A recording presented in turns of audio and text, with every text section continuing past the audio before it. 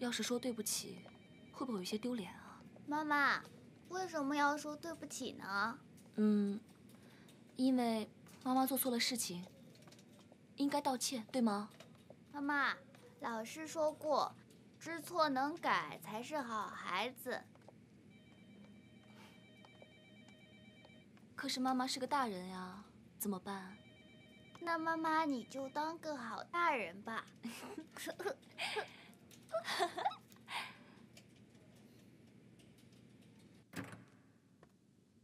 找我有事？你是不是很忙啊？我会不会耽误你啊？爸爸，嗯，妈妈想跟你说对不起。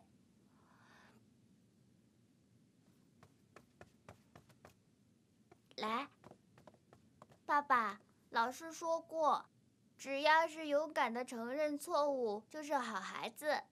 妈妈是个好大人，你要原谅妈妈哦。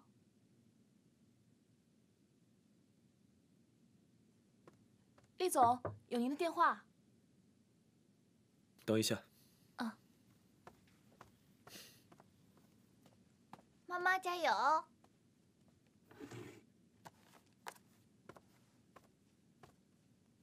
爸爸。嗯。这是送给我的吗？对呀，彤彤刚刚讲的话特别有道理，所以这是爸爸给你的奖励。可是太大盒了，我吃不完。我去分给秘书姐姐，还有林叔叔，好不好啊？好啊，那你要记得帮爸爸做一件事，把这个东西丢在林叔叔脸上，好不好？好。你惯坏他了。惩罚机制是进步的手段，有错就改是进步的表现。对不起。你知道我想要听到的不是这三个字。我当时问过你，有没有插手创美的事情，可你为什么不说啊？你要我说什么？就告诉我，你没有做对创美不好的事情，还让洋洋来帮我们。我那样误会你。你为什么不解释啊？我以为你会相信我。解释是弱者的表现，而且你的心已经相信了向军，不是吗？我对不起。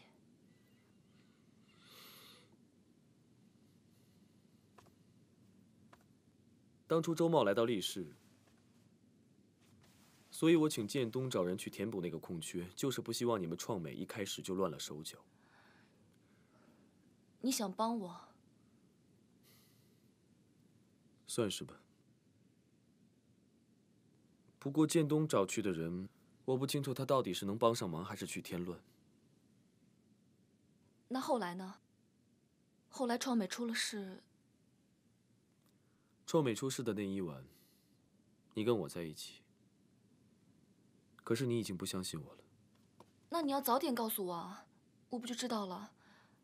都怪你，不讲道理。我那洋洋后来去了石家庄，也是你的意思了？还有，你跟石家庄的厂子怎么有业务啊？没有，我只是帮他们的自主品牌拓展了三个销售平台。那这样的交换条件，代价会不会太大了？不会啊，这是互惠互利的事，可以帮到他们，也可以帮到力师，顺便还可以帮助创美渡过难关，不是吗？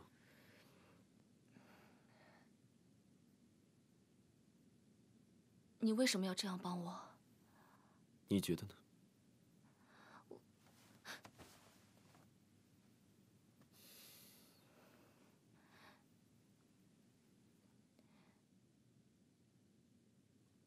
厉总，那个电话，呃，还接吗？你觉得呢？是法国来的电话，因为法语我只会说一句“笨猪，要不然我就跟他们聊了。我我先离开吧，先去陪彤彤，待会儿一起吃饭。嗯，好。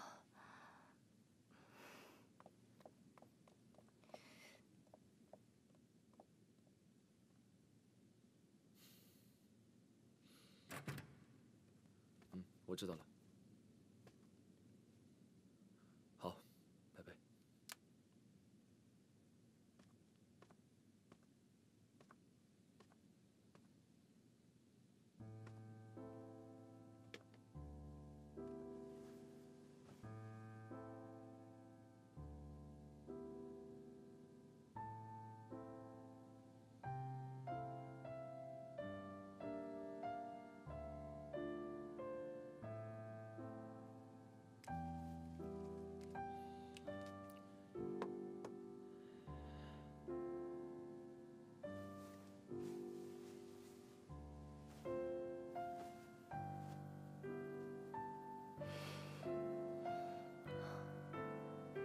谢谢。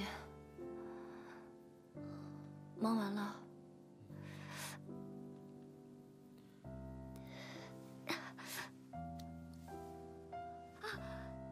等一下，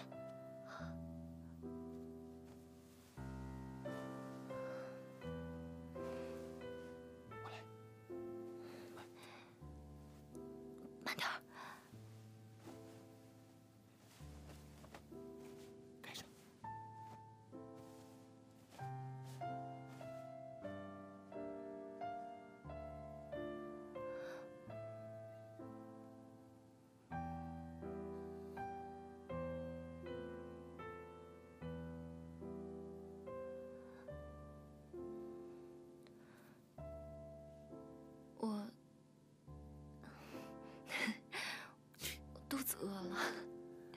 不好意思，今天忙太久了。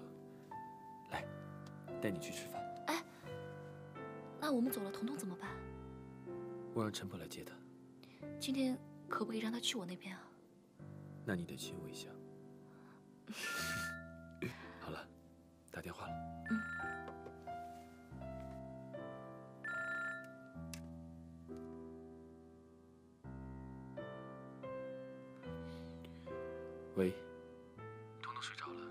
让她回公寓了。你为什么不把他送回来？小孩子作息要有规律。你这么忙，就不要一直把他留在身边。我是他爸爸，多陪陪儿子也是天经地义的事，难道把他丢在一边不管吗？这不是管，是放纵。养不教，父之过。你从小让他这么松散，将来他怎么比别人更优秀啊？我不需要他比别人优秀，我只希望他以后快乐。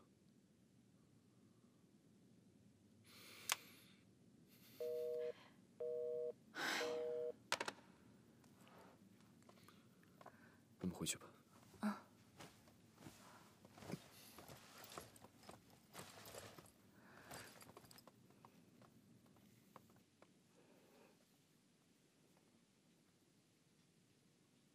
要不要吃点什么？刚才你都没有吃东西。好啊，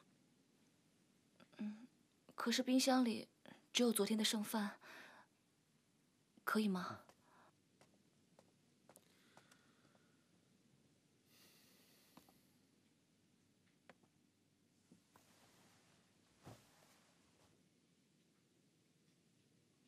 只有一点点炒饭，你先将就一下吧。